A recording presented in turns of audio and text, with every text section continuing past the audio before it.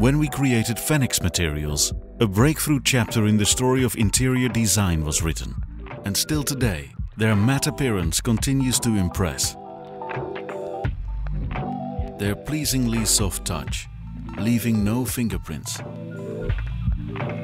FENIX materials are durable and strong. They're created for everyday life and stand out for their unrivaled high resistance to scratches. However, even in case light scratches occur, it is possible to thermally heal the surface. From a distance, FENIX appears flat. However, if you look through a microscope, you see a structure. This structure causes the matte appearance of the surface.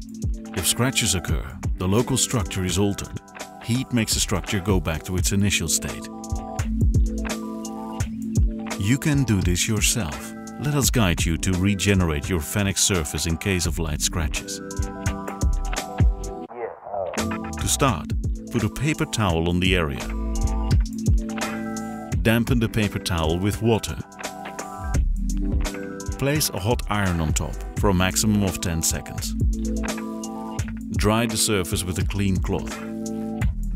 By now, the light scratches should have disappeared. Remember, FENIX materials are strong and made so you can enjoy them for years and years to come.